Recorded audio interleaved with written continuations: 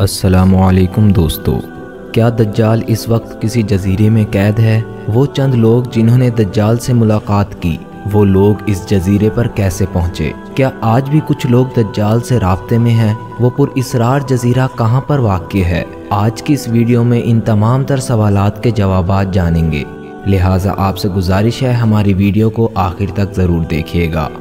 दज्जाल वो फितना है जिससे हज़रत आदम सलाम से लेकर हज़रत मोहम्मद सल्लल्लाहु वसल्लम तक तमाम पैगम्बरों ने अपनी अपनी कौम को आगाह किया। ये क़यामत का सबसे बदतरीन फितना करार दिया गया है। दज्जाल शैतानी क़वतों का हामिल होगा और दुनियावी ताकतों से माला माल होगा। और वो दुनिया में तबाही मुसलत कर देगा। दज्जाल इस वक्त कहाँ है और किस हालत में है? इसके मुतालिक एक अजीब व गरीब रिवायत हदीस की किताबों में मिलती है। लिहाजा हज़रत फ़ातिमा बिनत कैस रज़ी अल्लाह से रिवायत है। एक दफ़ा नबी करीम सल्लल्लाहु नमाज़ के बाद मिंबर पर तशरीफ़ लाए और फरमाया, तमीमदारी पहले नसरानी आदमी थे, वो आए और मुसलमान हो गए। और मुझसे एक किस्सा बयान किया जिससे तुमको मेरे इस बयान की तस्दीक हो जाएगी, जो कभी मैंने दज्जाल के मुतालिक तुम्हारे सामने ज़िक्र किया था। तमीमदारी ने बताया वो एक बड़ी कश्ती में सवार हुए और उनके साथ तीस आदमी और थे। समंदर का तूफ़ान एक माह तक उनका तमाशा बनाता रहा। आखिरकार समंदरी सफ़र के दौरान मगरिब की जानब एक जजीरे पर उनकी नज़र पड़ी, जिसको देखकर वो बहुत खुश हुए और छोटी कश्तियों में बैठकर उस जजीरे पर उतर गए। जब वो जजीरे पर गए तो उनको जानवर की तरह का एक जियो नज़र आया। उसके सारे जिसम पर बाल ही बाल थे। लोगों ने उससे कहा कम तो क्या बला है? वो बोला, मैं दज्जाल का जासूस हूँ। उस गिरजे में चलो, वहाँ एक शख्स तुम्हारा बहुत इंतज़ार कर रहा है। हम उस गिरजे में पहुँचे तो हमने वहाँ एक बहुत बड़ा शख्स देखा कि उससे पहले हमने इस तरह का कोई आदमी ना देखा था। उसके हाथ गर्दन के साथ और पैर लोहे की जंजीरों से जकड़े हुए थे। हमने उससे कहा, तू कौन है? वो बोला, तुमको मेरा पता लग जाएगा। अब तुम बताओ, तुम कौन हो? उन्होंने कहा, हम अरब के बाशिंदे हैं। हम एक बड़ी कश्ती में सफ़र कर रहे थे। समंदर में तूफ़ान आया और एक माह तक रहा। इसके बाद हम इस जजीरे पर आ गए। उसने कहा, मुझे ये बता कि बेसान की खजूरों में फल आता है या नहीं? हमने कहा हाँ आता है। उसने कहा, वो वक्त करीब है जब उसमें फल ना आएगा। फिर उसने पूछा अच्छा बहिरा तिब्रिया के बारे में बताओ। उसमें पानी है या नहीं? हमने कहा, वहाँ बहुत पानी है। उसने कहा, वो ज़माना करीब है जब उसमें पानी ना रहेगा। फिर उसने पूछा, जागर के चश्मे के मुतालिक बताओ, उसमें पानी है या नहीं और क्या बस्ती वाले उसके पानी से फ़सलों को सैराब करते हैं? हमने उससे कहा, उसमें बहुत पानी है और लोग उसके पानी से खेतों को सैराब करते हैं। फिर उसने कहा अच्छा नबी उम्मी का कुछ हाल सुनाओ। हमने कहा, वो मक्का से हिजरत करके मदीना तशरीफ़ ले गए हैं। उसने पूछा, क्या अरब के लोगों ने उसके साथ जंग की है? हमने कहा हाँ की है? उसने पूछा अच्छा फिर क्या नतीजा रहा? हमने कहा, वो अपने गिरदो नवाह पर गालिब आ चुके हैं और लोग उनकी अतात कबूल कर चुके हैं। उसने कहा, सुन लो, अरबों के हक में यही बेहतर था कि वो उसकी अतात कर लें। और अब मैं तुमको अपने मुतालिक बताता हूँ। मैं मसीह दज्जाल हूँ। और वो वक्त करीब है जब मुझको यहाँ से बाहर निकलने की इजाज़त मिल जाएगी। मैं बाहर निकलकर पूरी रुए ज़मीन पर घूमूँगा।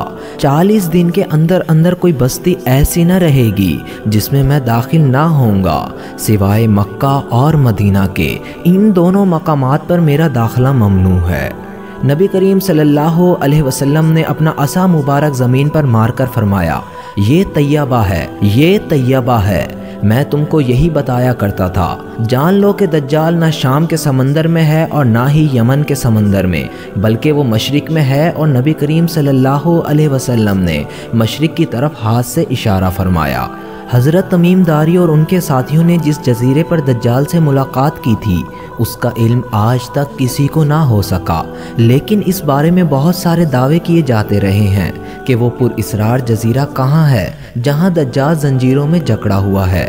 बाज़ लोगों का गुमान है कि बहिर अरब में मौजूद सुक्तरा नामी जजीरा ही वो जजीरा है, जहाँ दज्जाल कैद है। ये जजीरा नहायत अजीब व गरीब मकाम है। जजीरा सुक्तरा मुल्क यमन का हिस्सा है और साइल से 400 किलोमीटर के फासले पर मौजूद है। इस जजीरे पर मौजूद चरिंदों परिंद और दरख्त बाकी जजीरों से मुख्तलिफ़ हैं। ड्रैगन ब्लड ट्री नामी अजीबो गरीब दरख्त भी इसी जजीरे में पाया जाता है, जिसके तने से सुर्ख रंग का अर्क निकलता है और ऐसा लगता है जैसे इस दरख्त से खून बह रहा हो। इसके अलावा वो इस जजीरे में हैरान कर देने वाले 700 किस्म के दरख्त और मखलूक़ात पाई जाती हैं।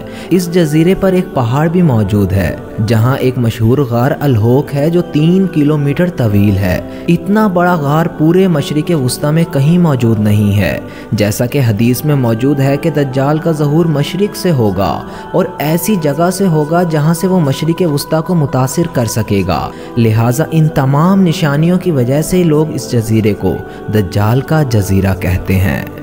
जबकि कुछ लोग बरमूदा ट्रायंगल को ही दज्जाल का जजीरा करार देते हैं। ये वो इलाका है जहाँ कंपस काम करना बंद कर देते हैं। वहाँ जाने वाले जहाज़ और कश्तियाँ भी वापस नहीं आते और यहाँ बहुत सारे हादसा रोनुमा हो चुके हैं।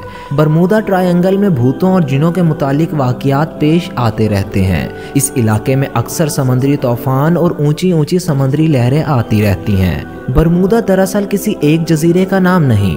ये तकोन नुमा इलाका है जिसके अंदर 300 से जायद गैराबाद जजीरे मौजूद हैं। इस बरमूदा ट्रायंगल पर की गई तहकीकाती रिपोर्ट को भी आज तक शाये नहीं किया गया है। यूँ लगता है कि दुनिया की हुकूमतों को इसकी इजाज़त नहीं है।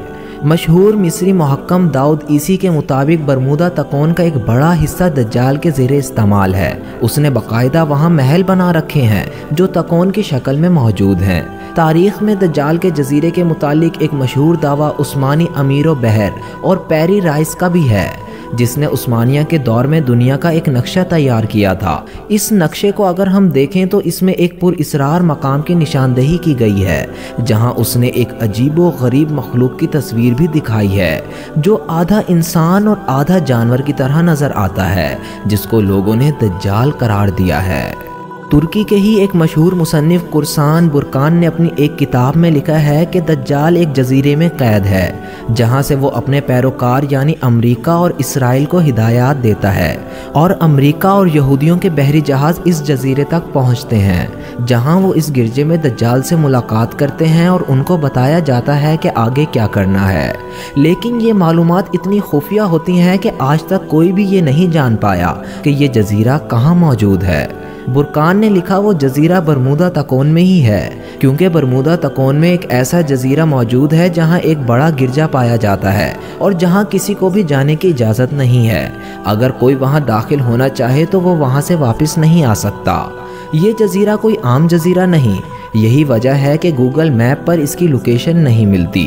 ईसा दाऊद ने लिखा है कि दज्जाल ज़माने कदीम से बहर काहिल के उन गैर आबाद जजीरों में रहता था और हजूर करीम सल्लल्लाहु अलैहि वसल्लम के विसाल तक वो जंजीरों में जकड़ा हुआ था। मगर आप सल्लल्लाहु अलैहि वसल्लम के विसाल के बाद उसकी बेड़ियाँ टूट गईं और वो आज़ाद हो गया। मगर उसको खरूज की इजाज़त नहीं, लिहाजा अब वो बरमूदा तकोन के वेरान जजीरों में रहता है और वहाँ से अपने पैरोकारों के ज़रिए खरूज की तैयारियाँ कर रहा है। अब उन जजीरों में से दज्जाल का जजीरा कौन सा है? इसका इल्म सिर्फ़ अल्लाह को ही है। और अल्लाह की तरफ़ से मुकर्रा वक्त पर दज्जाल उस जजीरे से निकलकर इंसानी आबादी की तरफ़ आ जाएगा। और हमारे लिए ये एक आजमाइश और फितना साबित हो सकती है। आखिर में अल्लाह से दुआ है कि अल्लाह हमें दज्जाल के फितने से महफूज फरमाए और जन्नत में आला मकाम अता फरमाए। आमीन।